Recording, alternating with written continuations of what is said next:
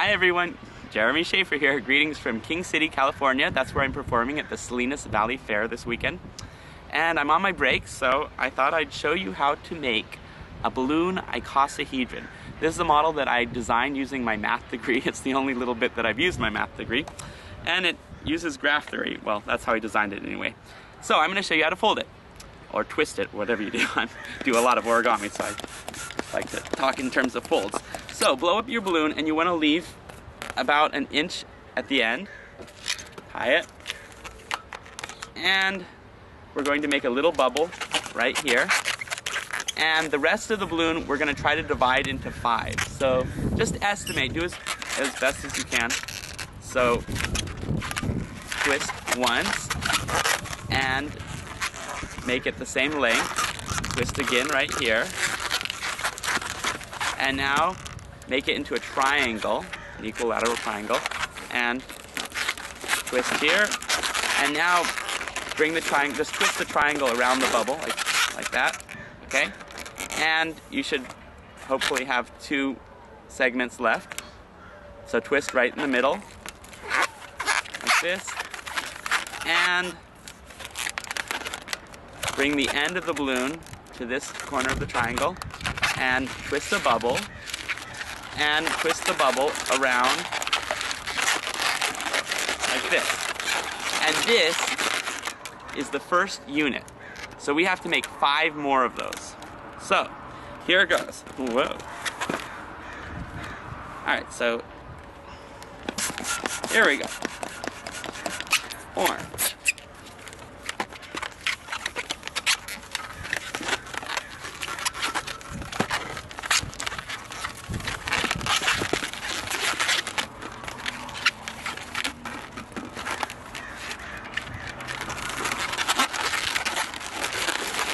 Two.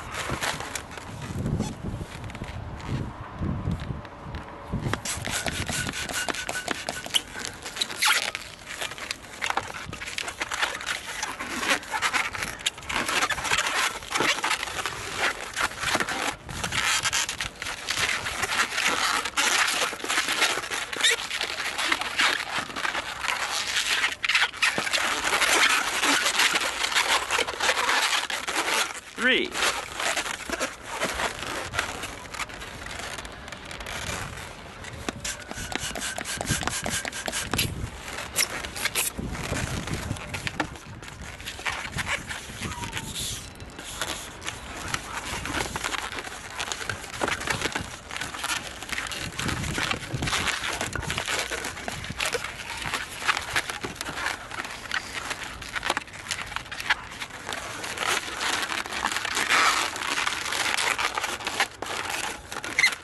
Four.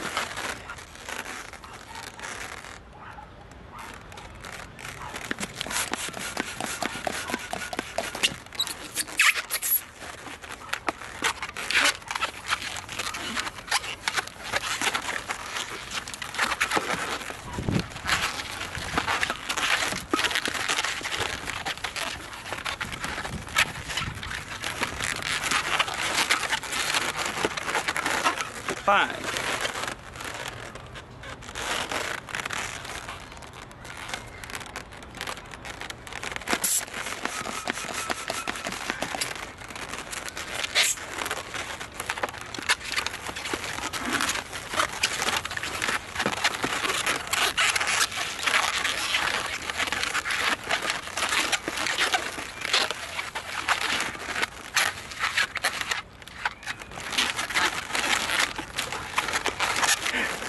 And six. All right, we're ready to put them together. So, notice that these modules, these units, are made of uh, vertices of three, one, two, three, and vertices of two. So the whole idea here is to attach the vertices of three to the vertices of two. So you're just gonna wrap the little bubbles around like that. Once. Okay. And we have our first balloon attachment. Now we're gonna take the next one, and here we have a vertice of two, and we attach it to the vertice of three.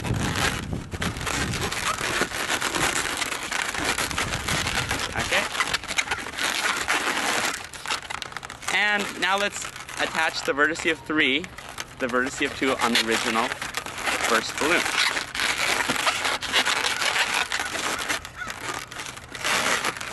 So this is what we have. And we could make another one of those, but let's just keep attaching. Okay, so basically if you just continue attaching the vertices of 3 to the vertices of 2, you should end up okay. Here it goes.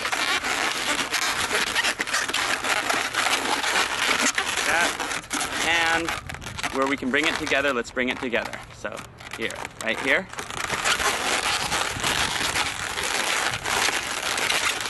And as you can see, it's forming. So let's see, let's take this and we're going to put it on a vertice of 2. Okay, and where can we bring it together? Right, right here. See, we're forming the ball.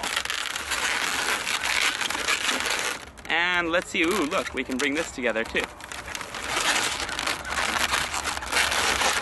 Okay, and we just have one more balloon, and look, it's gonna fit perfectly right here to close this giant helmet. look, it's a helmet. No. We're going to finish, we're going to finish the icosahedron. Okay, so. Oops, did you see that? See, vertice of 3 to vertice of 2.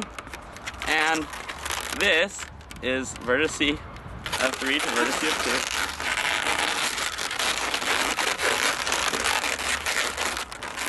And here, vertice of 3 to vertice of 2. And final one. Closing it up.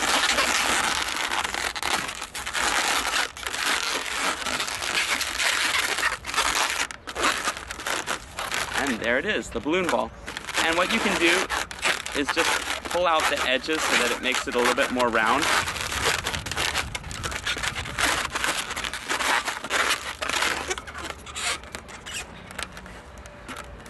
And there it is, the icosahedron balloon ball.